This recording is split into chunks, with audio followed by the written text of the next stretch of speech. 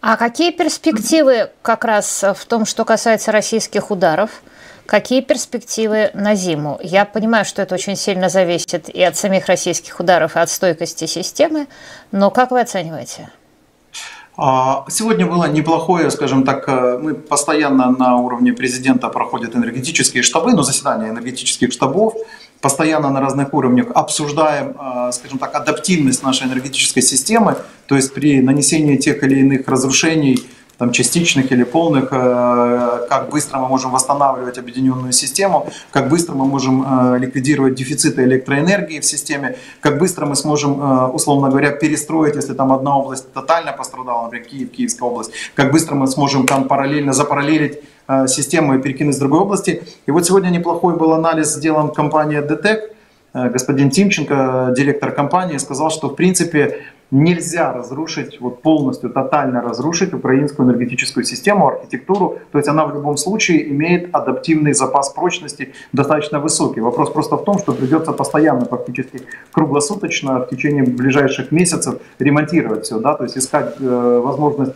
приобретения запасных частей. Кстати, Европейская комиссия практически официальный хаб делает сейчас э, для того, чтобы можно было и на государственном уровне, я имею в виду через национальное правительство, и через частные компании приобретать дополнительные части, дополнительное оборудование, в том числе и трансформаторы, готовые уже да, к эксплуатации, отказываясь от каких-то других контрактов и передавать их Украине, чтобы мы могли все время вот эту адаптивную функцию поддерживать. Но тут очень важный аспект под названием «А какая ресурсная возможность, ракетная ресурсная возможность Российской Федерации?» Насколько я понимаю, они уже сейчас сняли с э, вот этого обязательного критического процента, да, там 30% неиссякаемой э, ресурсной возможности ракетной у них должно было оставаться по военной доктрине. Сейчас они практически в ноль пытаются использовать «Искандеры» и «Калибры», основные э, высокоточные ракеты. И, соответственно, у них несколько побольше ракет «Иксов» категории 101-555.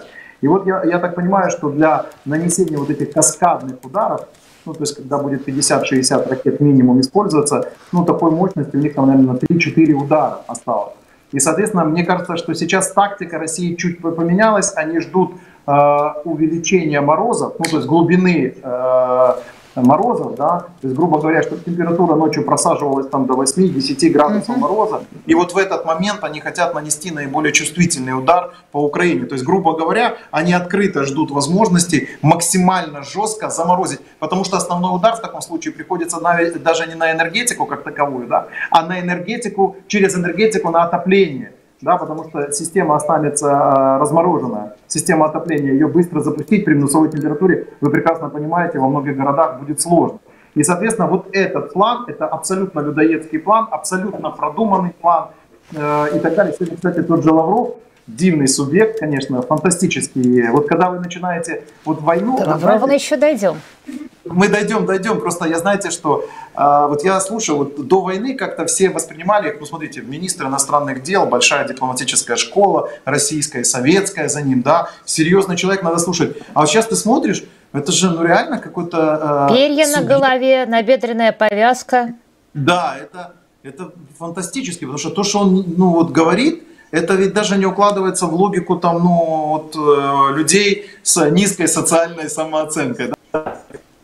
Как это, социальным э, статусом, да, ну, то есть я, я не знаю, то есть понимаете, когда человек на полном серьезе говорит, мы вам разрушаем, мы им разрушаем энергоструктуру, потому что э, она убивает русских. Ну, то есть, грубо говоря, вы знаете, логика у человека, мы вам уничтожаем отопление в роддоме, потому что отопление в роддоме убивает русских.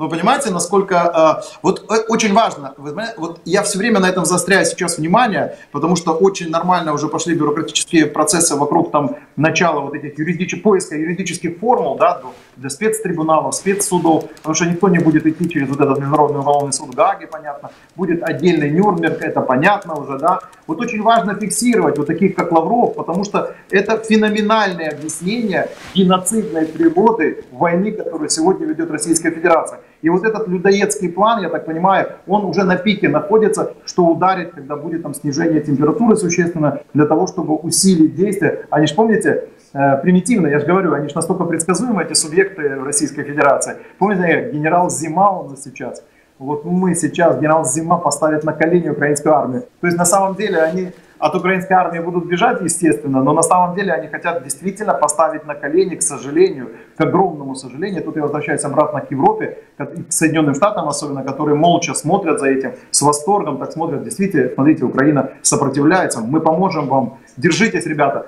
Так вот, смотрите, они хотят через генерала Зиму поставить на колени наши роддома, наши больницы, для того, чтобы детки дышали ингаляторами э, как-то на, в центрах обогрева, в центрах незламности, да, как мы их называем, и так далее.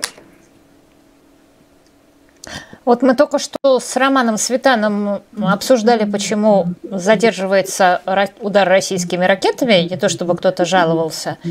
И Роман, кстати, обратил внимание на очень важную вещь, что ведь у России есть еще одно узкое бутылочное горлышко, которое заключается в том, что вот есть такое-то количество а, кораблей, с которых можно пустить ракеты, такое-то количество а, ракетоносцев, и, и, соответственно, это просто не может быть больше ста с чем-то ракет.